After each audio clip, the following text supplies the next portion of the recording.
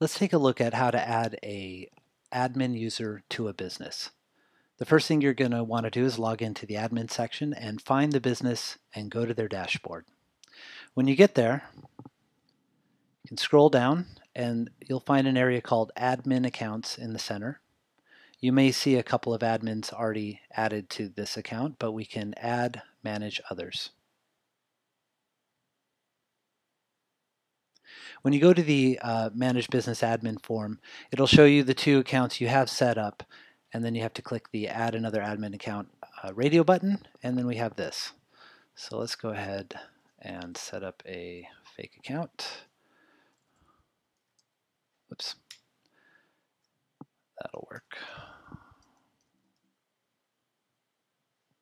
Ah, Okay, well, here's something good to know. If you're adding a business admin account for a user that already exists in the system, you'll get a note to that effect here as soon as you add their email. In this case, I am not going to use that account because I would like to uh, show some of this stuff down here. So click cancel and we'll add first and last name. Whoops. Uh, you can choose to generate a password if you like. Gives a nice secure password.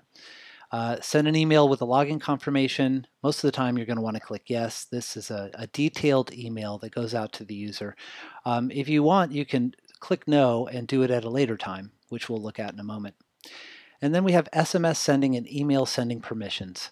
Uh, by default, a new business user would not have permission to send an SMS message. Uh, they'll be able to create the message and schedule it, but not it won't actually go out until it's approved by the station um, or by the website admin. Uh, sometimes that can become a cumbersome process once you have a lot of different admin accounts. So uh, sometimes it's best to go ahead and click yes to can this user send SMS alerts and email as well. Click yes and add this user. After you add the user, it takes you to the uh, back to the Manage Business User page. We see it up here, test at tester.com, and we see the user was created and notice emailed to.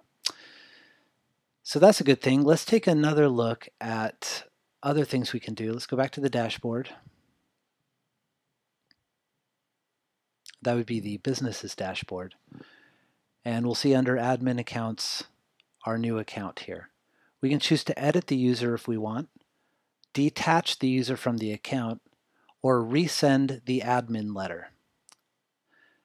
Um, there was one other thing I wanted to show you about uh, admin accounts, which is that actually if you want to give or revoke SMS sending permissions once you've created them, once you've created the account, you would edit their user and we're having a little slow internet here, and scroll down, and in this gray area, this is the admin type information uh, that only you have access to. Right here, under sending SMS and email sending, you can click no if you like or yes either way. And once you do that, click Save Permission Changes.